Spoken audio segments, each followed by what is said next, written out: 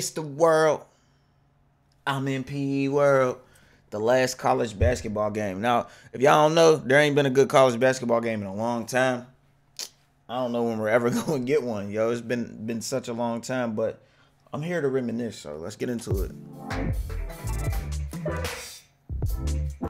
College Hoops 2K8 is what I consider to be the greatest college basketball game ever made. And while it was 2K's final College Hoops game, it wasn't actually the last college basketball game. EA's NCAA Basketball 10 was actually the last college basketball game. And while it didn't have That was actually a good game too. Uh, EA Sports made great college basketball games too, bro. And they had the atmosphere right, like with the crowd, the stadium, and all of that shit, bro. All of that was on point. gameplay close to as good as 2K8's, the game's presentation blew 2K's away, and the Dynasty mode I just was said it. incredibly deep as well.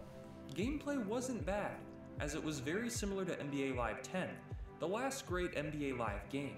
But when compared side by side to 2K8, it doesn't exactly hold up. NCAA Basketball 10 wasn't great, but it wasn't bad. It was an above average game with some great highlights, and it was the last college basketball game ever made. Before we go any further, let me tell you. Go ahead. Get a little past that. Shout out to HelloFresh though, you know what I'm saying? And I had that shit before. Damn, bro. That's like three minutes, two minutes of an ad, bro. Thank you to HelloFresh for sponsoring today's video. Damn! The best part of this game, bar none, was the presentation. EA got the CBS and ESPN license. Nice. So some games had the ESPN scoreboard and commentary team, while others had the 2K. Why don't y'all put y'all bag up, please? If you if you took the time to pay for the CBS and the ESPN license so that you can make this presentation look realistic, why can't y'all take all this money that y'all are taking from us on NBA 2K and make a fucking football game. You will blow Madden out of the water. Please. Please figure something out, yo. CBS scoreboard and commentary team. That was just awesome. Dick Vitale and Gus Johnson rotate as play-by-play commentators, and Crazy. on, Vitale is iconic, and everybody loves Gus Johnson and his enthusiasm. Hit a game winner, and Johnson goes ballistic. It's thrilling. The stat overlays mimic real life and give the game a very realistic touch. This is probably the best presentation ever in a sports game. I wish modern day sports games used presentation like this. While 2K21 has two commentary teams, I'd like to see more games do what MLB The Show does and use different broadcast packages. Different I like MLB The Show a lot, yeah. And differentiate games from prime It's a game. and regular games. Presentation is a huge part of making sports games immersive, and NCAA Basketball 10 nailed it, resulting in one of the most authentic sports experiences ever.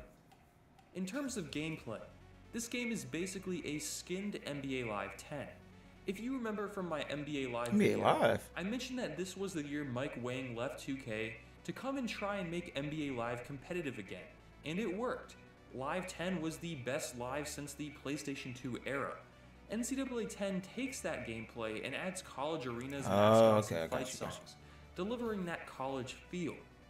There were a ton of unique motion sets to work with simply by holding down the left trigger. They made gameplay extra fluid, with lots of screens and quick passes along with icons telling you who is open to help run the perfect play. It takes a bit of practice to get used to, but once you get the hang of it, the result is a very intuitive and strategic game of basketball. Running your offense through the high post or finding a spot up shooter and timing the pass perfectly, resulting in him nailing a three, is some of the most fun you can have in a sports game. It's rewarding. And yet, while the gameplay was an improvement, it had some issues. AI would call for passes out of bounds, make dumb decisions often, and would shoot the same shot in the post nearly every possession. And court awareness basically didn't exist. After playing the game Stupid for a ass while, AIs. these issues become more and more clear. Luckily, the game has an awesome dynasty mode, and while the recruiting isn't on the same level as 2K8's, it's still really good. You can track player progression, improve your school's facilities, and a cool new touch added to this game was the top 20 places to play edition. If you enter one of these top 20 arenas, you'll feel just how loud and energized the crowd is. The better your team plays, the more you'll move up, and eventually you can make it into the top 20 and have a legit home court advantage. Dude, that's hard. Despite the gameplay issues, NCAA They really brought the college atmosphere in there. This amazing immersion to it. You feel like you're actually there, physically playing the game. Is this game overrated? Maybe. It has fantastic elements. The fuck was that? But the AI holds it back from being a truly great game.